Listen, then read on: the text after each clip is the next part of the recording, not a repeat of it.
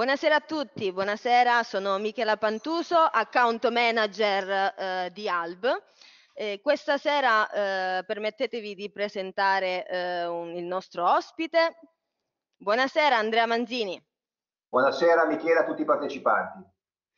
Buonasera. Un argomento molto interessante verrà trattato oggi. Eh, parliamo molto durante la formazione di psicologia. C'è chi addirittura afferma che il 90% dei risultati poi alla fine dipende dalla mente. Vero Andrea? Eh, confermo, sì, pare proprio che sia una cosa assolutamente ormai conclamata che l'aspetto psicologico è preponderante sul metodo e su tanti altri aspetti del trading, lo confermo assolutamente. Esatto, e oggi andremo a scoprire insieme ad Andrea come gestire la, la parte emotiva in modo da, poi, eh, in modo da, da poter poi prendere eh, decisioni di trading corrette e, e anche efficaci.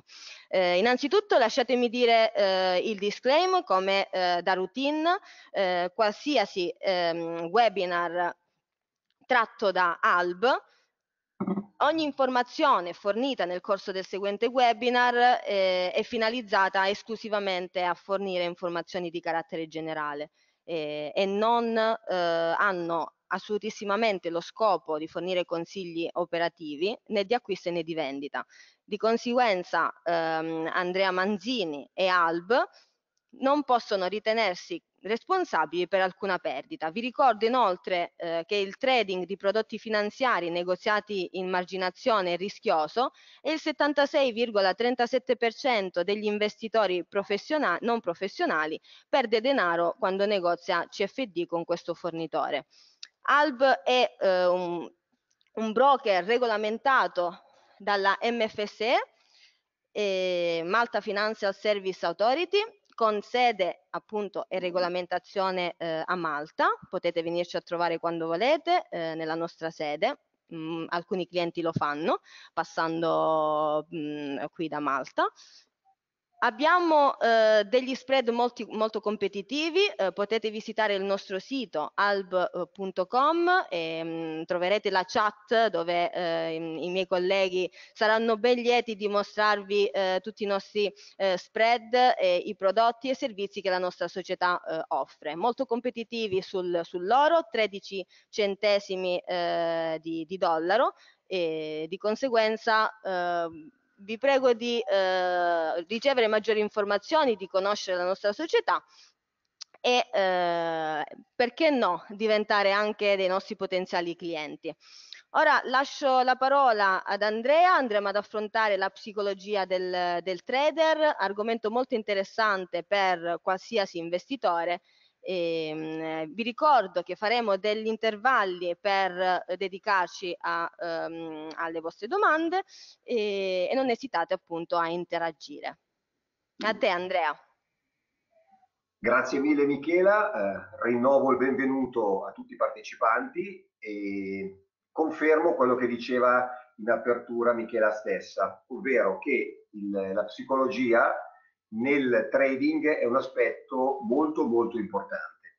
Perché molto molto importante? Perché eh, di metodi ce ne sono tantissimi, validissimi, mm, penso che ognuno di voi in qualche modo ne abbia approcciato a qualcuno, ma tendenzialmente mm, l'aspetto psicologico viene, concedetemi ogni tanto, trascurato, ovvero si pensa che eh, il trading sia più metodo che psicologia. In realtà, eh, come vedremo nel, nel proseguo di questa, questa chiacchierata che faremo insieme, non sempre così, anzi, come si diceva prima, eh, molto spesso è un aspetto preponderante. Premettiamo una cosa assolutamente importante, io non sono uno psicologo, sono un ingegnere, quindi eh, ho una formazione assolutamente non umanistica, ma una formazione più tecnica ma questo non mi ha eh, assolutamente impedito di comprendere come in realtà l'aspetto appunto psicologico sia poi mh, così importante, così fondamentale nel trading. Eh, diciamo che eh, se vogliamo dare una percentuale, si vive spesso di percentuali nel nostro mondo soprattutto, eh, potremmo anche dire che quasi magari il 70-80% degli, della, della, diciamo, della, degli aspetti importanti di un buon trader, di un profittevole, probabilmente possono risiedere appunto in questo ambito, in ambito psicologico. Eh, non divulghiamoci molto di più adesso in questa introduzione, ma andiamo direttamente al dunque, perché poi appunto, come diceva Michela, avremo possibilità di fare eventualmente una, a metà presentazione, una cosiddetta pausa per eventuali domande se ce ne dovessero essere, e poi andremo eventualmente a, a chiudere con altre domande al termine della presentazione stessa. Allora, diciamo che l'aspetto, come dicevamo, importante del, del trading è proprio la psicologia. Quando approcciamo la psicologia ci si focalizza, come si diceva, immediatamente sulla ricerca di un metodo e, e, si corre subito verso questa ricerca spasmodica del sacro graal. Cosa intendo col sacro graal? Intendo quella, quella, quella, quella serie, quella sequenza di, di, azioni da fare sul mercato dal punto di vista però prettamente tecnico che ci portino a dei risultati. Trascurando che cosa? Trascurando, permettetemi una, così, una, una frase celebre, che molto spesso è il disordine della mente dell'uomo che produce caos. Questa è una frase, tra l'altro, non di un trader. Robert Henry era un, un artista americano ma qua dentro racchiude molto di quello che andremo a trattare oggi, ovvero che molto spesso la confusione eh, crea ovviamente un caos in testa e il caos non ci fa essere psicologicamente preparati e psicologicamente pronti e attivi. Cosa si intende quando parliamo di caos nel trading? E a tante cose ragazzi, tantissime cose, ma ovviamente eh, andandole a dividere in pochi punti poi sono quelli che ci servono per essere diciamo i più pratici possibili, la paura, poi le declineremo, è meglio, l'avidità, l'euforia, la depressione e tante tante altre. Ma andiamo a vedere un attimino cosa intendiamo con paura, avidità, euforia, depressione, che sono forse le principali quattro. Paura. Beh, la paura del trading eh, è una cosa pazzesca, nel senso che ce l'abbiamo tutti, tutti l'abbiamo provata e forse tutti la continueremo a provare. Non è detto che la paura sia una cosa negativa, perché molto spesso se noi pensiamo alla paura di attraversare una strada, è proprio quella cosa che ci permette di guardare a destra, a sinistra e di attraversare la strada quando essa è libera. Quindi non è sempre una declinazione eh, negativa la paura. Certo che se la paura diventa immobilismo, diventa qualcosa che non facciamo perché abbiamo paura, ci irrigidiamo e non operiamo, questo al di là del, del trading, ma non operiamo nell'ambito della vita, ecco che allora la paura assume una connotazione negativa. E in questo caso la paura che cos'è? È la paura di non riuscire nel trading, è la paura di non fare l'operazione perché non si è sicuri, è la paura di cercare tutte le mille e uno combinazioni possibili tali per cui siamo sicuri di entrare ma non ci saranno mai tutte le mille e uno condizioni speciali che noi vogliamo e quindi non ci faranno fare click. E quindi non facendo click non operiamo e quindi se non operiamo non facciamo, trade, non facciamo il trader, facciamo qualcos'altro, guardiamo uno schermo. L'avidità. Beh, l'avidità purtroppo permea la società moderna, forse non solo quella moderna, perché la storia dell'uomo forse è costellata dall'avidità, perché se pensiamo a guerre, tutto quello che c'è stato nella storia dell'umanità, sicuramente la verità è un aspetto che l'ha, l'ha contraddistinta. Nel nostro caso è una cosa molto più circoscritta, molto meno eh, eh, impattante, ma l'avidità sicuramente è una componente del trading. Perché questo? Perché quando noi cominciamo a operare e magari abbiamo anche dei risultati, non abbiamo spesso la capacità di dire, beh, fermiamoci, oggi abbiamo fatto il nostro, ci eravamo prefissati un certo obiettivo, un certo risultato, abbiamo ottenuto e quindi facciamo altro, stoppiamo e facciamo altro. No, a quel punto subentra questa voglia di accumulare sempre di più. E molto spesso questa cosa, che porta a un overtrading, porta poi dopo a perdere magari anche quello che abbiamo guadagnato in quella giornata. E quindi è sicuramente una connotazione che psicologicamente va circoscritta e va riconosciuta soprattutto. Eh, ovviamente l'avidità eh, fa scopa con l'euforia, perché molto spesso l'avidità è dovuta al fatto che siamo euforici perché siamo riusciti ad avere un risultato eccellente, un risultato sopra le nostre aspettative, comunque, comunque siamo riusciti a fare qualcosa che ci eravamo prefissati, quindi siamo contenti, siamo talmente gasati che non vorremmo smettere di continuare a fare operatività. Invece molto spesso psicologicamente è importante stopparsi e dedicarsi ad altro, un po' come uno sportivo, diciamo così, no? Se noi facciamo un paragone con l'ambiente dello sport, è come un, uh, un atleta che in quella giornata eh, consegue un ottimo risultato e, e, se lui continuasse a fare quella prestazione. Prima o poi ovvio che per stanchezza, per limiti fisici, decadrebbero le sue prestazioni. È un po' il trading uguale, perché comunque è un impegno mentale, quindi come tale comporta anche delle fatiche. Quindi l'euforia va bene, magari ci dà anche quella, quella spinta, quello sprono, quell'adrenalina, ma bisogna saperla controllare perché sennò porta a dei risultati che poi dopo diventano negativi. E beh, in ultimo, non è mica una cosa tanto, tanto poco comune, eh, la depressione, perché c'è anche la depressione. E la depressione quando è che arriva? Beh, esattamente all'opposto dell'euforia. Quando noi abbiamo inanellato una serie di stop loss, una serie di, di, trader, di trading pardon, non positivi, ed ecco che incominciamo a sentirci inadeguati, non abbiamo capito niente, eh, siamo appunto depressi, non abbiamo voglia più di operare, non fa per noi. Ecco, tutti questi aspetti qua sono sicuramente il caos. E questo caos inevitabilmente è di natura psicologica. È ovvio che è solamente psicologia perché il mercato non è cambiato da quando eravamo euforici a depressi, la paura non è cambiata da quando siamo passati da paura a euforia sempre quello era il mercato, sempre quelle erano le situazioni, siamo noi che siamo cambiati, il nostro paradigma che abbiamo verso il mercato, la nostra visione verso il mercato che è cambiata, quindi è di natura psicologica. Tutte questi, quindi, queste cose ci portano a fare che cosa molto spesso? A operare in modo errato. E cosa vuol dire in modo errato? Ma vuol dire semplicemente che magari inanelliamo una serie di risultati non positivi e scatta nella mente il cosiddetto recupero ah, voglio recuperare, devo, devo, devo rifarmi delle perdite sostenute. Ed ecco che cominciamo a fare magari dell'operatività che non segue più il metodo fedelmente, cominciamo a pensare a nuovi metodi nostri, cominciamo a inventarci qualche cosa, a vedere dei segnali che non esistono, perché poi la mente eh, gioca anche dei brutti scherzi in questo senso. Oppure ci porta a non operare. Quello che dicevo prima, la paura, ci blocchiamo, basta, non operiamo più. Incominciamo a entrare in un loop perverso che non ci porta da nessuna parte. Sempre facendo una, un paragone sportivo, concedetemelo, il non operare è un po' come il, il tennista.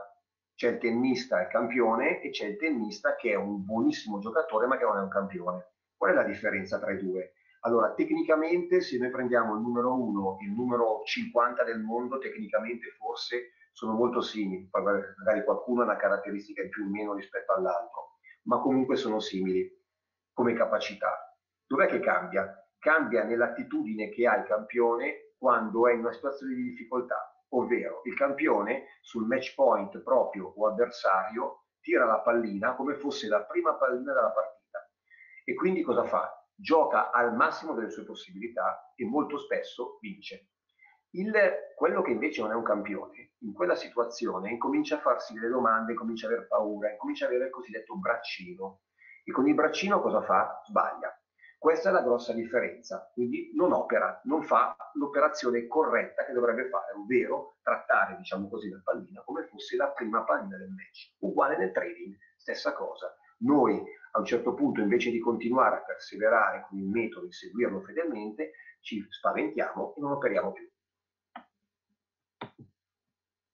Vediamo un po' delle situazioni tipiche che eh, probabilmente possono portarci ad avere un'operatività non, non, non, ottimale e che se non vengono riconosciute possono minare tutto il nostro progetto di trading. Probabilmente qualcuno di voi magari ci si rincontrerà anche in queste cose che vedrà adesso, ci si riconoscerà. Iniziamo a studiare una, un metodo, ok? E ci formiamo nell'ambito del trading. Ad un certo punto entriamo in gioco, cioè decidiamo che dopo magari il periodo demo il periodo in cui proviamo il metodo, eccetera, eccetera, proviamo a capire i principi del trading, entriamo in gioco, entriamo a mercato con soldi reali, iniziamo a operare. Proprio perché siamo vicini, abbiamo appena studiato il metodo, siamo freschi, diciamo, di teoria, iniziamo con disciplina a applicare il metodo e abbiamo qualche soddisfazione. Cosa succede? Come dicevamo prima, siamo euforici e non smetteremo mai di stare a mercato. Continueremo a voler fare tanti trade, tanti trade perché sta andando bene. Poi però, perché questo ve lo garantisco per esperienza mia, di colleghi, di amici, di, di sentito dire, prima o poi succede che il mercato ce l'ha con noi, ovvero siamo così convinti che noi abbiamo scelto di fare un'operatività long e il mercato ci ha visto e va short, come se noi siamo, io dico, una, una lacrima nell'Oceano Pacifico, avessimo un'importanza per il mercato. In realtà il mercato non ci vede, ma neanche lontanamente, ma sono le sue regole, cioè succede che prima o poi il mercato ci vada contro. Ma questo cosa comporta? Che dall'euforia per noi passiamo allo sconforto. Tutto quello che pensavamo prima, noi, che eravamo bravi, abbiamo capito tutto, ecco che già cominciamo a pensare che non sia più così. E ci sentiamo addirittura, adesso concedetemi la battuta, quasi vittime di un complotto da parte del mercato. Cosa comporta questo? Ma comporta principalmente due situazioni. La prima, che dopo una serie di perdite, anche con le migliori condizioni dal metodo, non entriamo più. Cioè abbiamo fatto un po' di perdite. Ci sarebbe la possibilità, secondo metodo, scelto da voi ovviamente, dal nostro metodo, di entrare a mercato e invece non lo facciamo più, nonostante lo dovremmo fare, perché disciplinarmente, applicando i principi, c'erano le condizioni, ma ci blocchiamo. Ed ecco che è il famoso, quello che dicevamo prima, braccino del tennista. Ci stoppiamo e non operiamo più. Oppure, cosa succede? Facciamo una cosa che delle volte è anche più negativa. Dopo un trade andato a buon fine, cosa facciamo? Chiudiamo perché il metodo ci diceva il take profit devi metterlo a top pip eh, dall'ingresso, eccetera, eccetera. Quindi noi facciamo eh, bravo il compitino, da bravi il compitino, quindi mettiamo il take profit, chiudiamo l'operazione, ma poi cosa facciamo? incominciamo a vedere cosa sarebbe successo se, ovvero stiamo a guardare ancora continuamente il grafico per vedere cosa sarebbe successo se fossimo rimasti dentro. Ed ecco, ci stiamo magari, magari ci accorgiamo che se fossimo rimasti dentro guadagnavamo di più, perché il mercato continuava a seguire il trend che avevamo previsto. Non sembra, ma questa cosa qua è una cosa molto negativa, quella di continuare a guardare il grafico anche dopo aver chiuso l'operatività. Perché questo? Perché questo ci fa sì che nella nostra psicologia, nella nostra mente, si stilla il dubbio che il metodo non funziona più, oppure che noi abbiamo trovato un modo migliore per stare a mercato, quindi aspettare, non so per quali ragioni, e quindi si mette in dubbio quanto ha preso. Cominciamo psicologicamente a minare la nostra testa e a cominciare a pensare che noi siamo più furbi del mercato, che abbiamo capito che c'era la possibilità di rimanere dentro e quindi di guadagnare di più, non più seguendo il metodo, diciamo, con disciplina. Cosa succede? Testiamo un metodo modificato e io dico anche che purtroppo magari funziona.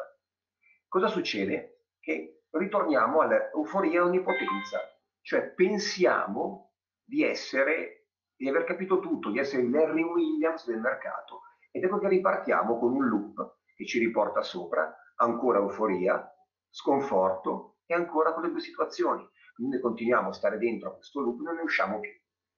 Com'è che si esce da questo loop? Da questo loop si esce solo in un modo, con la disciplina.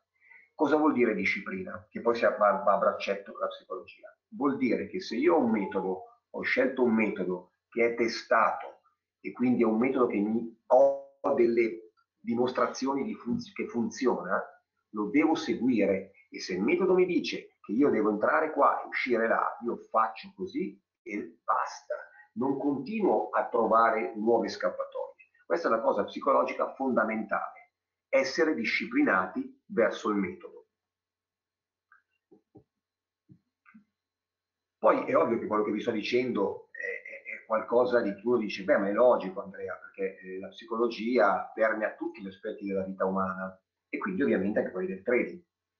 Ma io vi dico di più, che probabilmente la psicologia ne, è ancora più importante per il trading, l'ho detto anche all'inizio, per ottenere o meno dei risultati.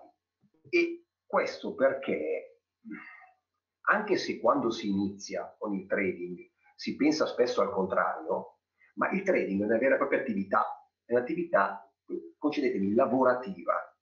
Anzi, diciamo che è un'attività lavorativa da affrontare con impegno e dedizione, e in poche parole è una vera e propria professione. Quindi quando mettiamo davanti la parola professione, ragazzi, stiamo dando una connotazione ben più importante rispetto alla parola lavoro, perché il lavoro, concedetemi, può essere qualsiasi attività umana che porta a un'azione, a qualcosa. Io faccio qualcosa, ottengo qualcosa in cambio, quello è un lavoro. Ma senza nulla togliere al lavoro, per esempio manuale, ovviamente scaricare delle casse di, di, di frutta è diverso che fare il, il, chirurgo che opera a cuore aperto, ovviamente perché da una parte ci deve essere una professione con delle competenze molto molto importanti. Quindi il trading ha una connotazione da professione, quindi ha delle caratteristiche molto molto importanti che lo contraddistinguono, non è solamente un lavoro, ok? E quindi, come ogni professione, quello che la nostra mentalità deve interiorizzare è che per diventare un trader profittevole è necessario un percorso di formazione e di pratica sul campo. Cioè, senza questo non riusciamo ad avere un bagaglio anche psicologico, perché sembra un paradosso, ma in realtà se io sono formato e ho fatto pratica sul campo, acquisisco sicurezza e quando acquisisco sicurezza sono psicologicamente più stabile ok? E, e concedetemi un, un, un banale eh, esempio. Se voi dovete, eh, eventualmente, mi auguro mai, ma se dovete, ad esempio, avete un, un trauma a un braccio e quindi dovete farvi fare un gesso, quindi dovete farvi mettere a posto il braccio, e beh, penso che voi volete che la persona che ve lo fa abbia ovviamente una laurea, abbia un'esperienza, sia capace di farlo e non volete che ve lo metta a posto il primo che passa, che magari non è laureato e quindi non ha neanche le competenze per farlo. Qua è uguale. Il trader deve essere una persona che ha delle competenze verso quello che fa ed è quindi una competenza importante verso i mercati, per forza di cose. Perché attenzione, ed è quello che dicevo che molto spesso questo è quello che inganna i neofiti, che è un attimo cadere nell'equivoco che siccome con il trading non ci sono capi, perché non c'è nessun capo che ci dice quando fare, come fare e perché fare. Non ci sono orari, se non quelli ovviamente dei mercati, ma come sappiamo sono molto ampi, ci sono molte possibilità di operare durante l'arco della giornata. Non c'è un luogo predefinito dove lavorare, si può lavorare dove si vuole, tant'è vero che molto spesso in internet si trovano anche immagini di gente in spiaggia che, che, che opera con un PC portatile. Vero, è possibile farlo, basta che c'è una buona connessione internet, si può fare tranquillamente. Ma se voi ci pensate, questi qua sono degli aspetti, io oserei dire spettacolari, cioè bellissimi. Io credo che queste qua sono le cose che molto spesso spingono alcune persone ad avvicinarsi a questo mondo, perché gli permettono appunto di essere, tra virgolette, concedetemi la parola, liberi, avere una professione libera, dove possono, dove possono loro decidere dove, come e quando farla. Ma questa cosa, se psicologicamente non viene affrontata nel modo corretto, può portare invece a pensare che sia banale, che sia un'attività banale, perché in qualche modo mi basta internet, un broker, magari Alba appunto, e il gioco è fatto. E no, non è il gioco è fatto. Tant'è vero che vi faccio riflettere su una cosa. Quanti, quanti mondi che voi conoscete avete che gli operatori del settore vi danno la possibilità di avere attività d'ego, cioè provare prima quello che state facendo. Io penso pochi. E se ci pensate perché esiste questa cosa? Proprio perché è un ambiente professionalmente voluto, ma anche, tra virgolette, difficile se non conosciuto. Quindi è importante avere anche dei punti demo per provare, per testare, per capire. Quindi vuol dire che non basta internet e un broker, ma bisogna anche avere della formazione, bisogna anche essere preparati con della formazione a conoscere quello che andiamo a fare. Questo è sicuramente fondamentale. Quindi, come ogni professione, è necessario un percorso di formazione di pratica. L'ingegnere, parlo per, per esperienza, come vi ho detto prima, visto che lo sono, almeno 5 anni di laurea, se non qualcosa in più perché era fuori corso. Il dottore, il medico, 6 anni più praticantato, cioè quindi tutte le professioni eh, hanno sempre un tempo di formazione piuttosto lungo. Ora non vi sto dicendo che dovete fare 5 anni o 6 anni più praticantato per diventare dei, dei trader profittevoli, ci, mancherebbe, profittevoli, ci mancherebbe. ma sicuramente anche non un giorno vado a sentire un, un corso, vado a leggere un libro, poi parto e butto dentro i soldi sul mercato. Cioè, devo comunque formarmi, devo comunque capire le regole del gioco, perché se capisco le regole del gioco sono psicologicamente preparato e pronto ad affrontarlo. Quindi, come dicevamo, per acquisire sicurezza e decisione, ed avere quindi un giusto approccio psicologico, è necessario che il trader faccia dello studio una delle sue principali attività, per forza di cose. Così come dicevamo prima, come qualsiasi altro lavoro di grande, di grande professionalità. E dove appunto tutto il percorso è sempre stato caratterizzato da studio e aggiornamento. Attenzione, come messo anche aggiornamento. Perché? Perché quando si opera sui mercati, i mercati cambiano. Nel tempo i mercati cambiano perché cambiano le condizioni economiche del mondo quindi cambiano gli scambi, cambiano le relazioni, cambiano purtroppo anche le tensioni nel mondo, quindi cambiano gli scenari. Quindi bisogna essere un minimo, non dico che bisogna essere degli analisti fondamentali, ma bisogna un minimo capire cosa sta succedendo, essere un minimo informati e poi stare sempre aggiornati, magari attraverso i webinar che fa il broker, qualche informazione che potete trovare su internet, insomma comunque stare sempre sul pezzo, è assolutamente importante. Il percorso logico quindi che migliora il nostro approccio al trading è il seguente. Noi abbiamo la psicologia che è sicuramente, ben detto prima, un aspetto fondamentale della vita e della, di tutti noi, del nostro comportamento nella società, quindi anche nel trading.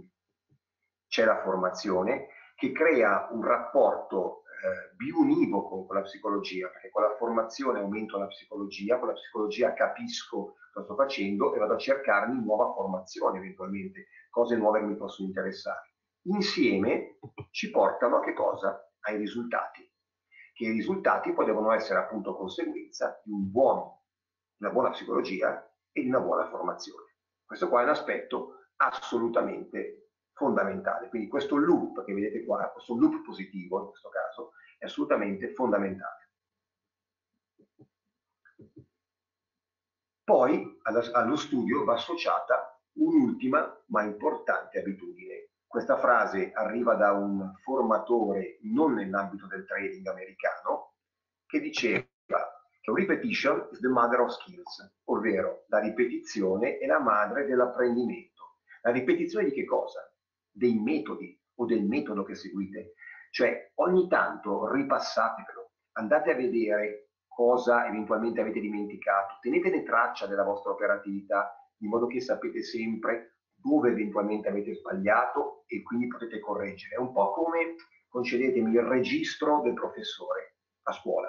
Voi immaginate se voi aveste fatto una stagione intera, un anno intero di scuola e il professore non avesse mai segnato, diciamo, i vostri voti.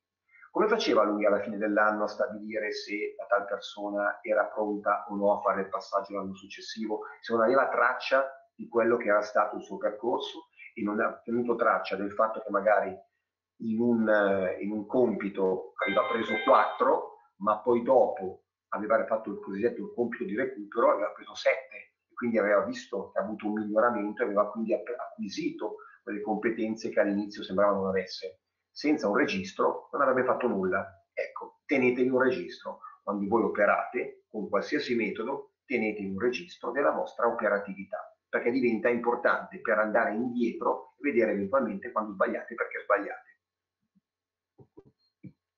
Quindi in pratica il trader, e in questo caso ovviamente il notita a maggior ragione, perché magari quello esperto può anche ogni tanto, proprio perché ha esperienza, magari ogni tanto applicarsi con meno costanza verso questi aspetti, comunque sicuramente il trader che neofita deve acquisire l'abitudine inconscia ad applicarsi costantemente per il miglioramento dei propri risultati. E per fare questo deve continuare in loop ogni tanto andare a rivedersi per forza di cose. Ora, prima di continuare, siccome adesso qua entriamo magari nel dettaglio di come porsi un obiettivo, eccetera, eccetera, mi fermerei un punto un attimo, visto che siamo già circa a metà del, del nostro webinar, e chiederei a Michela se c'è qualche domanda eventualmente a cui rispondere degli amici che sono in questo momento collegati. Non ci sono domande, è solo una considerazione de, di Vincenzo, eh, secondo, eh, secondo, il quale ehm, è più difficile per lui eh, tenere duro durante i periodi di drawdown in un trading system. Io al momento certo. mi sto immaginando tutte le facce dei, dei clienti perché si, si, rivedranno in tutto ciò che stai dicendo. Ovviamente è un aspetto molto importante e eh, so che al tempo stesso è difficile da, da gestire. Quindi eh, avranno difficoltà nel rimproverarsi, nell'essere autocritichi, perché la psicologia è anche quello, no? Sì, assolutamente eh, è conoscenza di se stessi e quindi autovalutazione assolutamente per riuscire a capire dove, dove si sbaglia. Per quello che dice Vincenzo lo comprendo benissimo perché il drawdown, vabbè appunto a parte che la parola eh, down già è, è, brutta perché vuol dire che è qualcosa che scende ovviamente, in questo caso sarebbe la discesa di un risultato in qualche modo e quindi sicuramente non è un bell'aspetto. A maggior ragione lo capisco che lui magari possa dire che vive con particolare difficoltà il drawdown, mi sembra, mi sembra di aver capito, quando c'è di mezzo un expert advisor, quindi qualcosa che non opera, eh, che opera in automatico. Eh, lo comprendo, glielo confermo, perché psicologicamente non dipende da noi in qualche modo, ma dipende da un qualcosa di cui noi, sì è vero, possiamo stopparlo, l'expert advisor, o farlo ripartire. Però nel momento cui abbiamo deciso di farlo partire, eh, siamo tra virgolette un pochino nelle sue mani e sicuramente eh, un, un, expert advisor, seppur eh, sofisticatissimo, eh, adesso ci sono anche quelli che hanno la capacità di autoapprendimento, tutto quello che vogliamo, però è sempre una macchina che sta operando e non siamo noi. Noi in qualche modo quando operiamo abbiamo anche la capacità appunto di essere un, un pochino più critici, che in alcuni casi può essere ovviamente un bene, come nel caso appunto di Vincenzo, avere un drawdown dovuto da, da un suo comportamento gli permette subito magari di andare a guardare qual è stato e di intervenire. Fatto da una macchina e, e diventa un pochino ovviamente più difficile perché la macchina opera più in modo sistematico e è anche vero però che a Vincenzo gli do questo, questo chiave di, di, di lettura, questo spunto, che la macchina in realtà toglie l'aspetto psicologico perché nel momento in cui noi affidiamo tutto a una macchina, lei non ha sentimenti, ovviamente non è umana, e quindi opera in modo automatico secondo delle regole date che sono quelle dal metodo. Qual è migliore? Non sta a me dirlo, è una cosa assolutamente personale. Io al momento non opero con, eh, con expert advisor, ma cerco sempre io di fare un'operatività, diciamo così, personale. Però è vero, confermo la sua impressione, la sua affermazione, che il drawdown visto da dove noi non siamo stati parte attiva può essere sicuramente un pochino più ostico da, da, da digerire, diciamo così. Ecco. Quindi io se non ci sono altre domande proseguirei con eh, la definizione per esempio dell'obiettivo. Eh, anche l'obiettivo è una cosa che incide sulla psicologia e anche tanto. Perché? Beh, perché l'obiettivo è, un è anche un sogno Ecco, mettiamola così, l'obiettivo è anche un sogno. Noi abbiamo magari il sogno nel cassetto di cambiare qualche cosa nella nostra vita attraverso un obiettivo. Ci poniamo un obiettivo, eh, ovviamente con un arco temporale, e, su quello noi lavoriamo magari per conseguirlo. E, e bisogna quindi essere focalizzati in quell'obiettivo che vogliamo raggiungere. Ma come facciamo però intanto, prima di essere focalizzati, come facciamo a in qualche modo stabilire un obiettivo e far sì che sia un buon obiettivo a livello psicologico? Beh, l'obiettivo deve essere ben definito, quindi circostanziato, perché dire io voglio diventare ricco non è un obiettivo, è una speranza, è un sogno, è, un, boh, è una cosa, perché non ha nessuna definizione. Cosa vuol dire diventare ricco. Per una persona potrebbe voler dire fare un milione di euro, per un'altra 100 milioni di euro, per, altro, per un altro invece solamente 100 mila euro. Quindi non è misurabile quell'obiettivo lì, non ha, non ha nessuna connotazione per dargli un senso di concretezza, non c'è niente. Quindi deve diventare ovviamente un qualcosa di più concreto, quindi deve essere realistico, deve essere una cosa che abbia la sua consistenza. Per essere realistico cosa vuol dire? Vuol dire che deve essere un obiettivo che nell'ambito del trading è inutile pensare di guadagnare una doppia cifra percentuale fin da subito. Se io parto e dico, ah, oggi inizio, ho conosciuto un metodo, studio, faccio la mia parte in, in demo, passo al real oggi, inizio con il real, bene, oggi voglio fare già il 15%. Beh, io ve lo auguro ragazzi, io vi auguro di trovare quel metodo e soprattutto vi auguro di avere quella mente per conseguire quel risultato. Però sulla maggior parte delle persone vi dico che sarebbe molto difficile conseguirlo. Quindi forse è molto meglio avere un'aspettativa nettamente inferiore rispetto all'obiettivo, ma molto più realistica, molto più vicina. Anche perché molto spesso avere obiettivi molto lontani porta a non crederci. È come se io vi dicessi domani dovete fare la maratona. Ecco, se domani vi dico che dovete tutti alzarvi e partire a fare la maratona, non so quanti di voi domani mattina veramente si alzano e si mettono a correre per 41 e passa chilometri.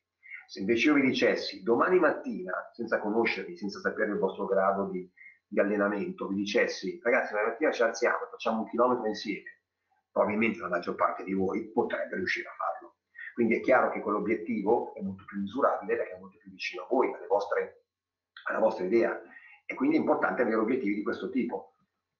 Anche avere profitti da 1000 euro al giorno se metto sul conto 100 euro, beh, praticamente impossibile. Oppure se ci riuscite, mi auguro che facciate voi un nuovo webinar dove io sarò spettatore e ascolterò il vostro metodo perché sarà eccezionale. Ma tendenzialmente, ragazzi, non prendiamoci in giro, non è possibile, è veramente impensabile una cosa di questo tipo. Quindi l'obiettivo deve essere appunto un obiettivo realistico, deve essere un qualcosa che mi prefiggo con una, una, un livello di, di, di fattibilità eh, umano. Okay? Diciamo che se vogliamo sempre fare un paragone sportivo, questa volta non parlo più di, del, del tennista, diciamo che dobbiamo essere come uno scalatore. Lo scalatore il Mesner di turno, che faceva gli 8000, che faceva l'Himalaya, Ma secondo voi partiva da terra, dalla pianura e partiva in un giorno andava su 8000? Eh, sicuramente no. Cosa ha fatto? Sicuramente partiva, arrivava a una certa altezza dove c'era il primo campo base, al primo campo base si fermava, stava tot giorni perché si doveva climatizzare, doveva comunque far sì che il suo corpo si abituasse a pressioni, temperature, eccetera, eccetera, eccetera quando era pronto ripartiva per il secondo campo base, che magari era 4.000 metri, e via, e via, e via, fino ad arrivare agli 8.000. Quindi con questo cosa vi voglio dire? Potete anche porvi un obiettivo ambizioso, e deve essere il vostro obiettivo finale, ma prima obiettivi intermedi, obiettivi a breve, a medio e poi quello a lungo. Quindi cominciare a dire voglio guadagnare tot in x tempo, questo potete dirlo solamente voi, non posso dirvelo io, potete decidere se è un guadagno giornaliero, mensile, annuale, quello che sia, però ponetevi degli obiettivi fattibili vicino, una volta raggiunti con costanza e non raggiunti una volta, perché se voi dite io voglio guadagnare 100 euro al giorno e lo guadagnate solamente una volta, tutti gli altri giorni vi perdete, allora non è ancora un obiettivo raggiunto, perché dovete raggiungerlo con costanza. Dopodiché, quando l'avete fatto con costanza, passerete a qualcos'altro. Direte, bene, adesso che ho raggiunto questo, voglio incrementare e fare qualcos'altro. E di volta in volta che voi, diciamo, superate lo step, vi avvicinate sempre di più a quello che è l'obiettivo finale che vi siete posti, che sarà quello più ambizioso, ovviamente. Anche il tempo è un aspetto da non trascurare quando parliamo di psicologia. Partiamo dal presupposto che il tempo è la risorsa più importante in assoluto che abbiamo, non nel trading, ma nella vita quante volte vi ci siamo sentiti dire che l'unica cosa che non torna indietro, e la diamo un po' per scontata, ma ragazzi, se ci pensiamo la verità, noi siamo qua insieme adesso da 30 e passa minuti, non tornano più questi 30 e passa minuti. Io spero che quantomeno sia stato del tempo per voi proficuo, ma comunque è del tempo che non torna più. Quindi il tempo è fondamentale. E questo nel caso del trading, che tempo?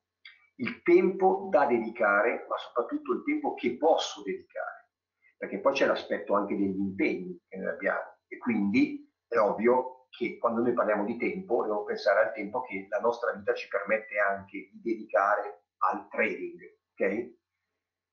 Quindi quando noi parliamo poi di tempo da dedicare al trading, non vuol dire solamente il tempo che dedichiamo ad operare, ma anche il tempo a studiare, perché abbiamo detto prima che la variabile formativa diventa una variabile fondamentale per proseguire nel nostro percorso di trader profittevoli.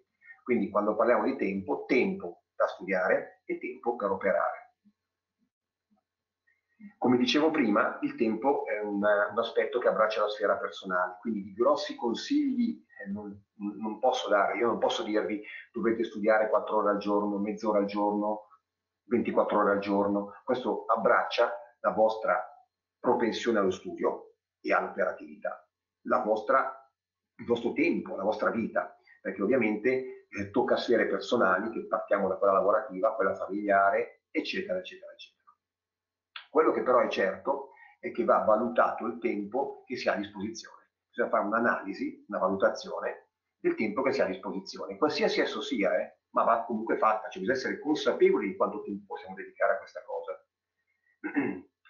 E ovviamente questo tempo incide anche sull'obiettivo che noi ci poniamo e sul metodo che scegliamo. Questo perché? Perché va da sé che se io posso operare solo la sera, è inutile che studi un metodo intraday, ok? Cioè all'interno della giornata, perché se io posso fare solamente alla sera perché ho un lavoro che mi impegna più di otto ore al giorno, è ovvio che io non posso pensare che allora mi metto a guardare i mercati mentre sono in macchina, che vado magari da un cliente piuttosto che in una riunione, perché non sarebbe assolutamente un tempo dedicato con, ehm, con, con una precisione verso quello che stiamo facendo, con un'attitudine verso quello che stiamo facendo, perché saremmo distratti da tante altre cose. Okay? Quindi anche questa cosa qua è importante perché se voi scegliete un metodo che poi dopo non potete applicare, è tempo perso. Avete studiato un metodo che non vi serviva, quindi avete perso del tempo a studiare qualcosa che non potete. Magari può diventare un obiettivo. Inizio con un metodo che è attinente alla mia attività lavorativa e quindi mi permette di farlo, tipo appunto tutto il giorno lavoro faccio un metodo invece daily, ok? e quando poi ho raggiunto certi risultati, magari mi permetteranno di cambiare lavoro, non so, di avere altre possibilità, allora potrei andare a fare altri metodi magari a più breve termine, ma diventa un obiettivo di passare per esempio a un altro metodo. Altra cosa, se io posso guardare il grafico una sola volta al giorno, è un po' difficile che io faccia il 10% con una sola operazione. Può essere, siamo sempre come prima, se ci riuscite bravissimi, però diciamo che stiamo parlando in senso generale diventa un po' difficile riuscire a fare questa cosa. Quindi attenzione che quando noi dedichiamo del tempo, deve essere del tempo buono, buono per quello che vogliamo fare, perché se no stiamo, abbiamo perso proprio del tempo. Scusate il gioco di parole, ma è veramente questo il problema. Poi, anche riguardo al tempo, non basta avere del tempo, cioè non basta dire oggi mi dedico un'ora a studiare, un'ora al trading, comunque un'ora del mio tempo la dedico a questa mia passione.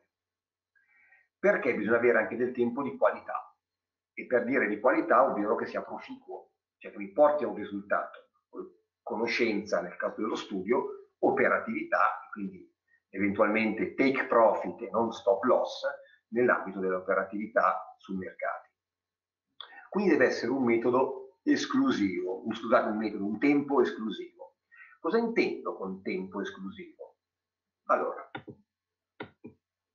intanto dobbiamo operare in un ambiente con buona luce, sia che studiamo o sia che facciamo operatività, cioè non posso essere in una situazione scomoda, in, una, in, in uno sgabuzzino, sto facendo una battuta ovviamente, però in un ambiente che non sia comunque comodo per essere anche mentalmente rilassati e sul pezzo, quindi focalizzati su quello che stiamo facendo.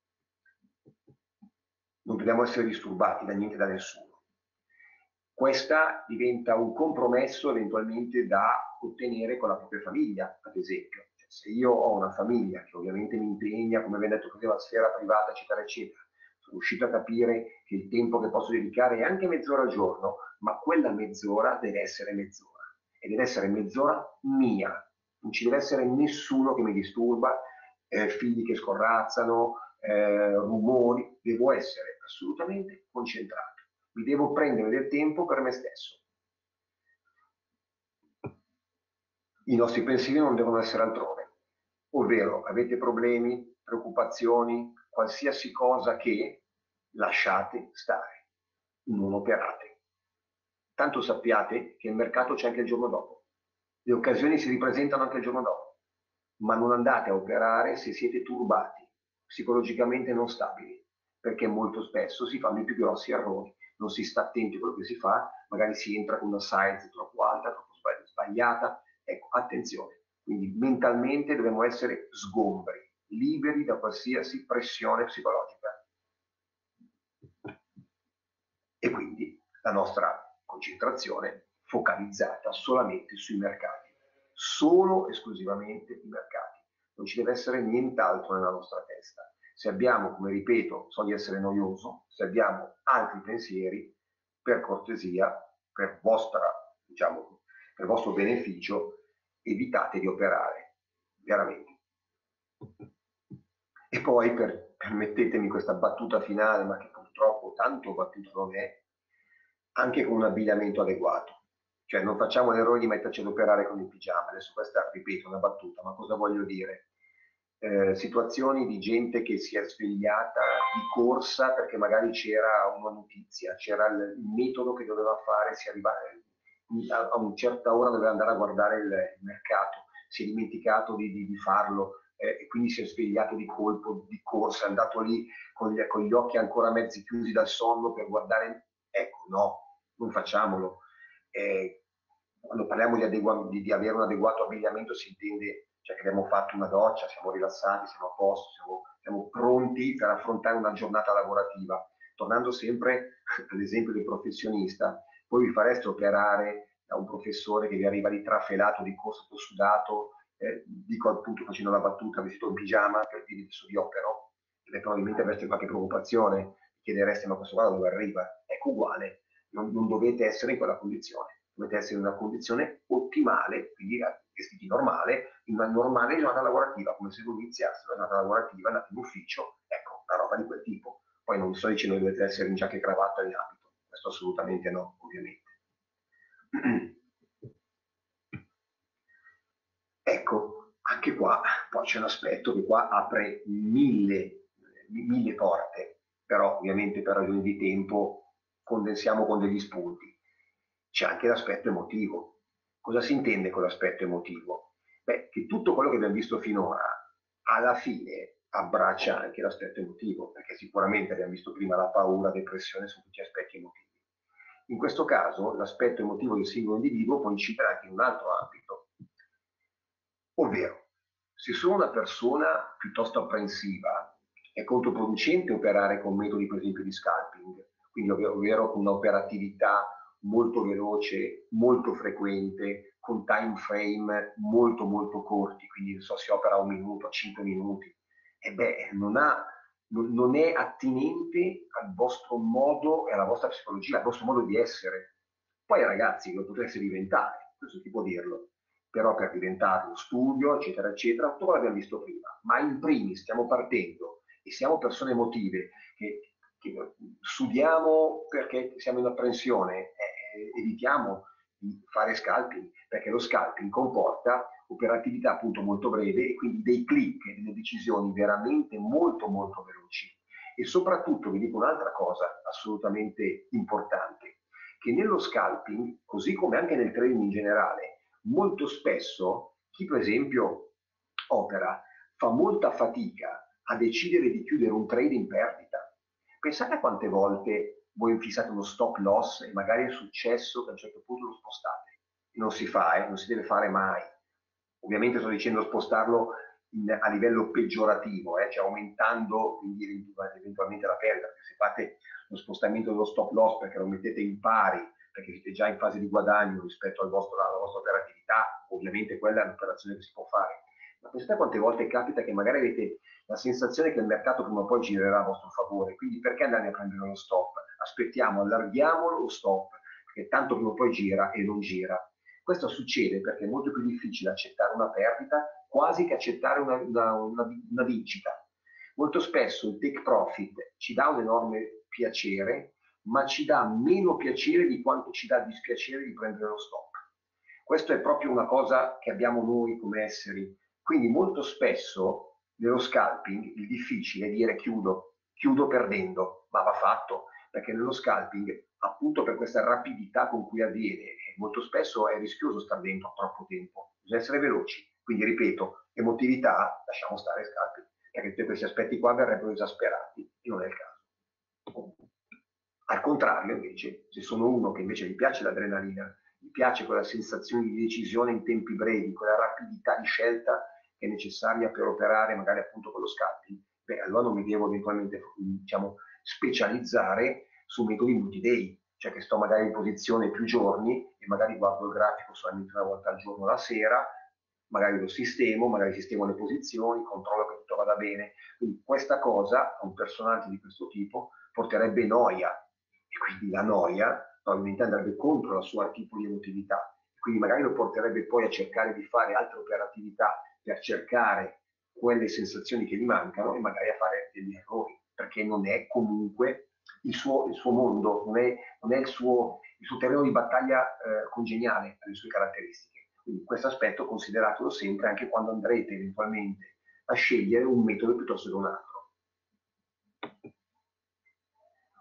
Abbiamo quasi concluso questa nostra breve eh, trattazione. Mi permetto di fare quest'ultima slide che è un pochino riepilogativa tutto quello che abbiamo visto per farvi capire qual è la logica che abbiamo seguito nell'affrontare questo aspetto della psicologia. Allora, dobbiamo fare trading come fosse, affrontare il trading come fosse una professione e studiare per imparare ad approfondirla. Questo assolutamente per forza di cose. Quindi non va improvvisato e, bisogna dedicare del tempo alla formazione. Quindi anche se è una cosa che magari ci piace poco pensare di fare, perché magari molto spesso a ah, studiare non mi va, eccetera, va fatto. È una cosa assolutamente necessaria. Crearsi le condizioni ottimali, sia per studiare che successivamente per operare, attraverso analisi degli obiettivi che abbiamo visto, del tempo da dedicare, eccetera, eccetera, eccetera.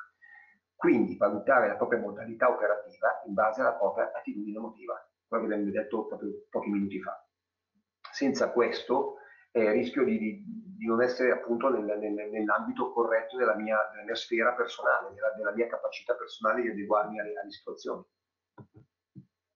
Quindi, come stavamo dicendo, sono apprensivo, evito operatività molto rapida e con tempi di decisione brevi, amo le sensazioni forti, evito l'operatività da posizione, ovvero di lunga durata. Quindi cerco di decidere prima in che ambito andare a lavorare